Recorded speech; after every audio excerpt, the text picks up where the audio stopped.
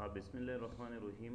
زمون سره مایکروسافټ ایکسل سٹارټ دی نو سٹارټ ته بلاټ شو او دلته به ولیکو ای ایکس سی ای ایل ایکسل نو مایکروسافټ ایکسل 2007 باندې کلیک کړئ هغه کې زمون سره پیج لی اوټ الریډي چې کوم دی مونږه ډیسکس کوو پیج لی اوټ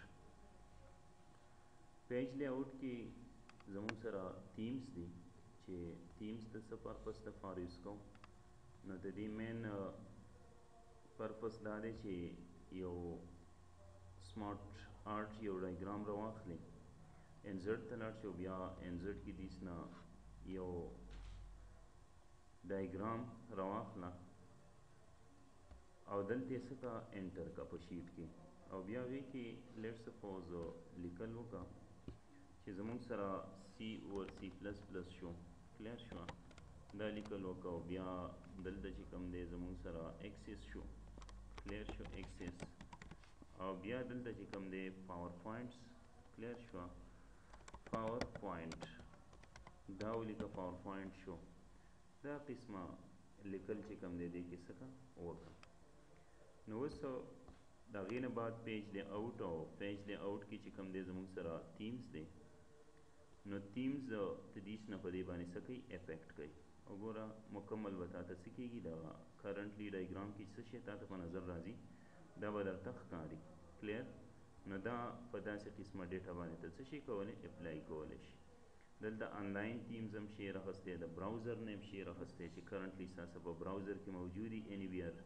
په سی کی په ډی کی په ای ایف کلیر شو دی ډیرایو کی ستاسو موجودی نو دیس نه راغستلی شی او کرنټلی تیمز ته سیو کولی شی هغه نه بعد بیا کلر افیکټس دی چې دا هم په دې باندې افیکټ کوي چې کم کلر ستا خوښیږي نو کرنټلی دا به په داسې شیزونو باندې کلیر شو کلیف آرټ وغیره باندې دا به مونږ څه کوو اپلای کوو دا سی فونټ افیکټ ته وګوره فونټ افیکټ هم په دې باندې زموږ سره اتوماتیکلی څه کوي کار کوي نو دا فونټ افیکټس په دې باندې هم موږ څه شو کولای اپلای کولای شو دغه شانتي دا افیکټس دی پکې اتوماتیکلی تاسو ته چینجز پته لګي تاسو ته څه کوي چینجز کوي بیا مارجن دی نو مارجن چې کوم دی امپورټنټس دی زیات تر چې کوم دی لکه مونږ مارجنز کې دا ریډیمیډز جوړ دي لیس کاسټم سیټینګ شو کلیر شو داسې تاسو ته اتوماتیکلی پته لګي ګوره چې څه شی په وجودي نارمل فارمز داسې شو بیا د هغې نه بعد وایډ فارمز کلیر شو بیا داسې چې کوم دی نیرو فارمز کلیر شو لیکل وغیره سره یو کې نو هغه په کرنټلی باندې څه شي کولی اپلای کولی شي نور زیات تر د دې مین مطلب دا که چېرته تاسو دلته ولیکئ چې رول نمبر او بیا د هغې نه بعد چې کوم دی دلته نیم او بیا څه ولیکئ ایډریسز ولیکئ او بیا چې کوم دی زموږ سره مارک سي او بیا د هغې نه بعد چې کوم دی زموږ سره ان آی سي نمبر شو ان آی سي نمبر او بیا چې کوم دی موبایل یا چې کوم دی دلته ولیکئ موبایل نمبر سیل نمبر شو کلیر شو داسې ولیکئ او د هغې نه بعد دلته چې کوم دی other names هم پکې پریښی دی اف سلیش نیم دا ولیکئ کلیر شوه اف سلیش نیم دغه رنګې زموږ سره کنټري ولیکئ کلیر شوه کنټري او بیا دغه رنګې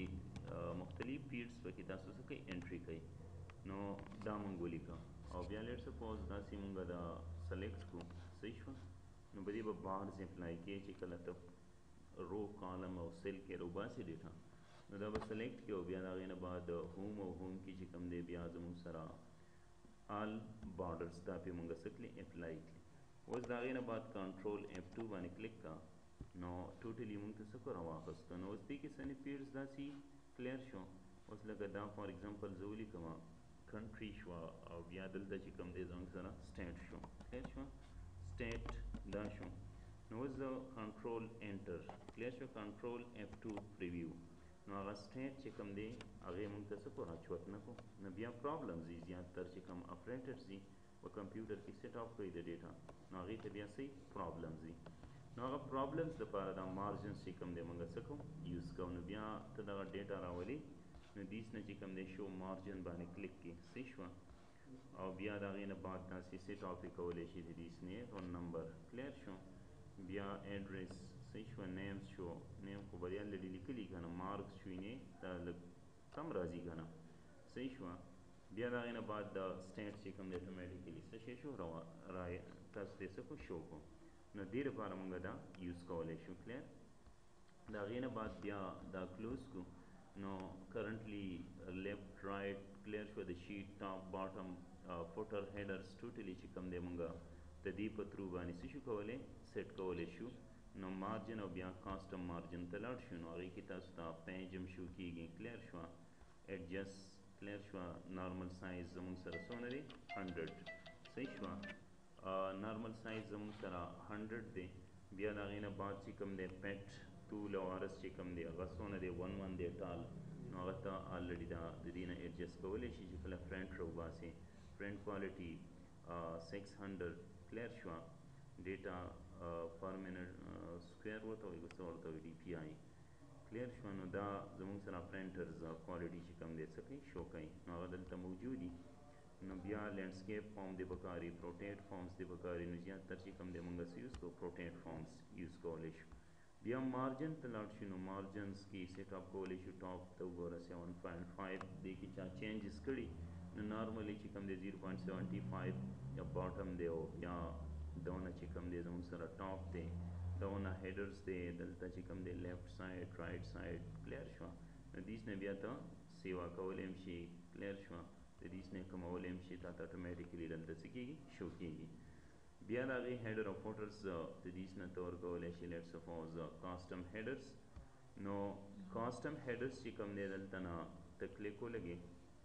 لیفټ سیکشن څه زموږ سره لیفټ صفه او زه دې کې ولیکي خپل نیمس ولیکي یا چې کومه دې زموږ سره اس سی ای ولیکو کلیر شو او سنټر سیکشن کې چې کوم دی کې ایچ ای آر آر او رائټ سیکشن ته دلته ولیکو بی ای جی ای یو آر باجوړ کلیر شو نو داسې یو هیډرز ورکولی شي ټایمز پکچرز هر څه پکې د دې نه بیا تاسو څه شي کولی انکلوډ کولی شي نو بیا اوکې د اوکې سره دلته فوټرس دی نو فوټرس ام ته بیا انټری کولی شي چې فوټرس باندې سره راولي پیج نمبرز راولي شي ټو راولي کلیر شو پیج ون پې راولم په فوټرس باندې او بیا اوکې نو اوس د هغې سره تاسو کنټرول اف ټو کې به تاسو ته بیا چې کله پرنټ اوټ کېږي نو دا به هیډرز هم راځي او فوټرس به هم راځي نو اوس وګوره ای سی ای ښار ما جوړ ته هیډرز باندې څه شو راغلي دغه شانتي فوټرس باندې مونږ پیج ون ورکړی دی نو دیس کی رپورټرز باندې تاسو هم شو کیږي چې زموږ سره پیج وبن یا خپل نیم پیر لیکي نوټ بک پی لیکي نو هغه تاسو دیس نه بیا څه شي کولای اخستلی شي اورینټیشن مطلب څه شی دی کله ته څه کول غواړي په اورینټیشن کې الریډي پروټیټ فارم دی خوخي یا لینډسکیپ فارم دی خوخي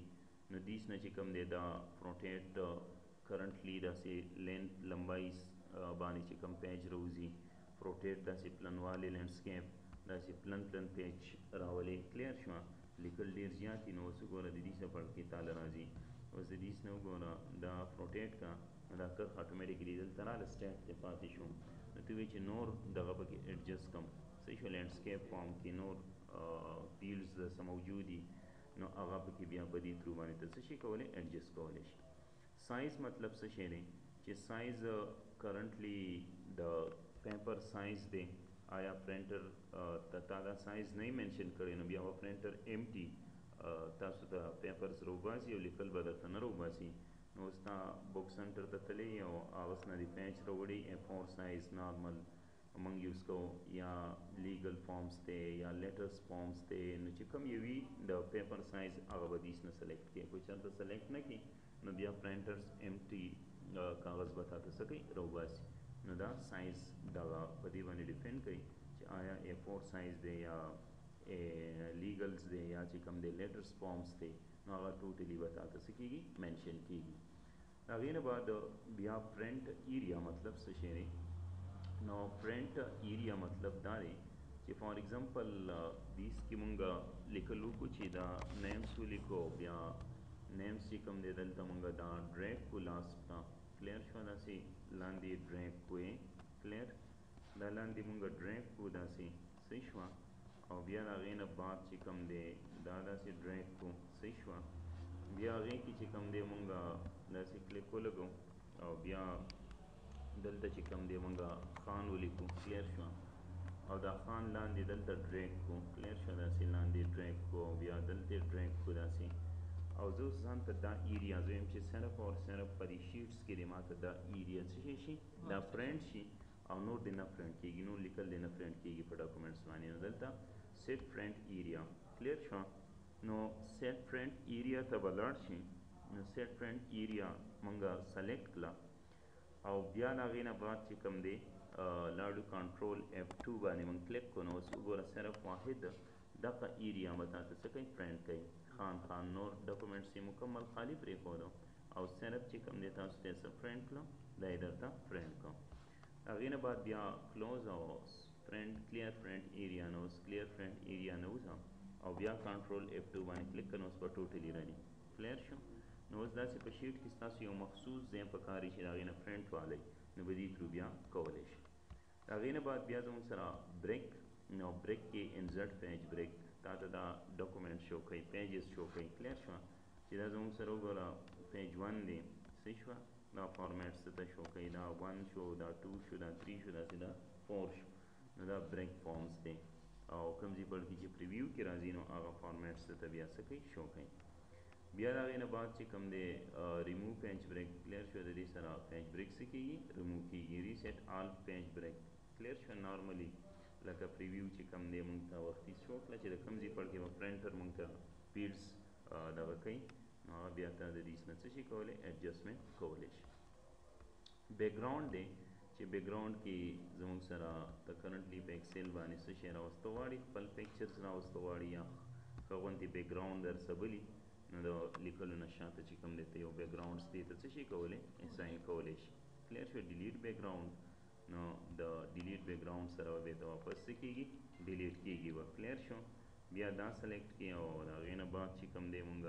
دا بیک ګراونډس را رواستو نو اټومیټیکلی چی کوم دی تاسو ته دا بیک ګراونډ څه شی شو شو شو بیا ډیلیټ بیک ګراونډس نو بیرته واپس ډیلیټ کی دا فارمز دی فرنټ ټایټل کلیر شو نو دا الریډی فرنټ ایریا کلیر شو نو دا دیس نه سلیکټ کوی چی دا ایریا مونږ ته څه کا فرنټ کا کلیر دا غږ سلیکشن شو او بیا د هغې نه بعد روټ ټو ریپیټ ټاپ او کالم ټو ریپیټ لیفټ څه شوه دا خو بیا په دغه کې مونږ ویلي دي الریډي بلیک اینډ وایټ ګریډ لاینز څه شوه دا ټوټل آپشنز پې بیا تاسو اپلای کولی شئ او بیا د هغې نه بعد اوکې نو هغه ایریا چې کوم تاسو سلیکټ کړې ده نو هغه به درته څه شي واپس راشي شو کې دغه ایریا به درته صرف څه کوي پرنټ آوټ کوي